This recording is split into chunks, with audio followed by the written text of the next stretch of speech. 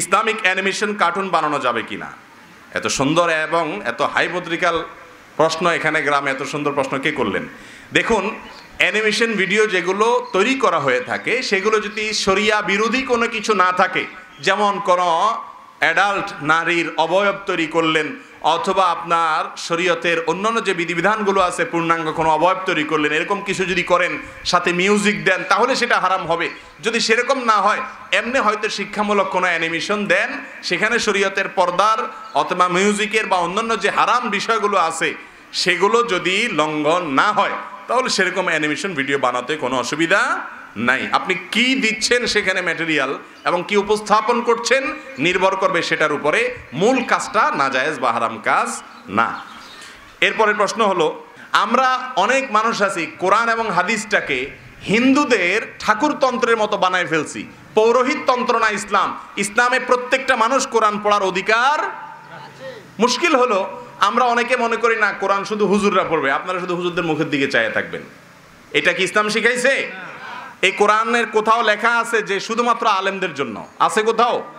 বরং কোরআনের বহু জায়গায় বলা আছে হুদাল্লিন নাস হুদাল্লিন মানব জাতির জন্য হেদায়েত। এটা গোটা মানুষ জাতিকে হেদায়েত করবে। হুদাল্লিল মুত্তাকিন শুধু আলেমদের না, সবাইকে পথ দেখাবে কোরআন। কোরআন শুধুমাত্র তেলাওয়াত করে সব আহরণ করার মেশিন হিসাবে আসে নাই। এই কোরআন থেকে হেদায়েত নিতে হবে। কিন্তু অবশ্যই সেটা বিশেষজ্ঞ ওলামা একরামের তত্ত্বাবধানে পরামর্শক্রমে থাকতে হবে। মন গড়া হলে আবার ফিতনার কারণ হবে। কোরআন না বুঝে পড়ার কারণে আজ আমাদের এত দুরবস্থা।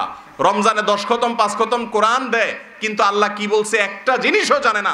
এর মতো কপাল পোড়া আর হতে এই মজলিসে যত মানুষ আছেন, আমি যদি এখন চ্যালেঞ্জ দিয়ে বলি, এই কোরআনে আল্লাহ তালা হাজার হাজার কথা বলেছেন।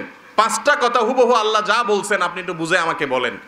বলার মতো মানুষ এখানে খুঁজে পাওয়া যাবে? খুব একটা পাওয়া যাবে না। ষাট বছর, সত্তর বছরে মুসলমান, আপনারা আল্লাহ কি বলছেন? সহজ কথা, নির্দেশ নির্দেশ, আদেশ, দৃষ্টান্ত, উপমা, অনেক কথা বলছেন। এগুলো আমরা জানি না, কিন্তু কোরআন তিরিশ খতম দিছি। আল্লাহর কাছে কি জবাব দিবেন?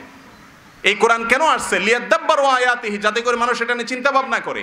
হ্যাঁ কিছু জিনিস আছে, লা ইয়াকিলুহা ইল্লাল আলিমুন। সেগুলো আলেমরা ছাড়া কিছু বুঝবে না, কেউ বুঝবে না। কিছু বিষয় আছে স্পেশালিস্টরা বুঝবে, সেটা বুঝুক। কিন্তু আপনি তো অনেক জিনিস বোঝেন, কিন্তু একটা জিনিসও বোঝেন না, আপনি কবরে চলে গেছেন। এটা কখনো সঠিক হতে পারে না। কোরআন আরবিতে নাজিল হয়েছে সাহাবা একরাম আরবি বুঝতেন না বুঝতেন না। ওনারা তো অ্যারাবিয়ান ছিলেন। তো ওনাদের নারীরা, পুরুষরা সবাই কোরআন বুঝতো কি বুঝতো না? অনেকে বলে সাধারণ মানুষ কোরআন বুঝতে গেলে গুমরা হয়ে যাবে। তাহলে সাহাবা একরাম সব গুমরা হয়ে গেছে, ওনারাও তো বুঝতেন আরবি। সবাই কি সবাই এতে তাফসির জানতো, সাহাবিরা? তাহলে এজন্য কোরআন বুঝে পড়া ভালো জিনিস। কোরআন বুঝে পড়া ভালো জিনিস। আল্লাহ বলেছেন এই কোরআন তোমাদের পথ দেখাবে। আপনি যদি না বুঝেন, কীভাবে পথ দেখাবে? কীভাবে পথ দেখাবে? এই জন্য কোরআন পড়ে, আবার সুদের কারবার করে। কোরআন পড়ে, আবার ঘুষের কারবার করে। কোরআন পড়ে, সুরে নূরের আয়- আপনার পর্দার আয়াত পড়ে, আবার বেপর্দা চলে। কেন? কারণ কোরআনে কি বলছে, সে নিজেও ভালো করে জানে না। এই জন্য কোরআন বুঝে পড়বেন। আলেম হওয়া কোনো জরুরি না কোরআন বুঝে পড়ার জন্য। এই কথা কোরআন হাদিসে কোথাও বলে নাই যে আলেম হওয়া ছাড়া কোরআন বোঝা যাবে না। এটা হিন্দুদের ধর্মে আছে। পুরোহিতরা ছাড়া আর কেউ বিশেষ ধর্মগ্রন্থ পড়তে পারবে না। আমাদের ধর্মগ্রন্থের কোনো কন্টেক্টারই আল্লাহ হুজুরদেরকে দিছে? এই জন্য সবাই পড়তে পারবেন। তবে হ্যাঁ আবারও বলছি, মন গড়া না, খবরদার। বিশেষজ্ঞ, একজন নির্ভরযোগ্য, আলেমে দিনের মাথা হাতে তত্ত্বাবধানে, পরামর্শ সাপেক্ষে আপনি পড়বেন। বিশেষ করে তাফসির ইবনে কাসির, অত্যন্ত চমৎকার তাফসির।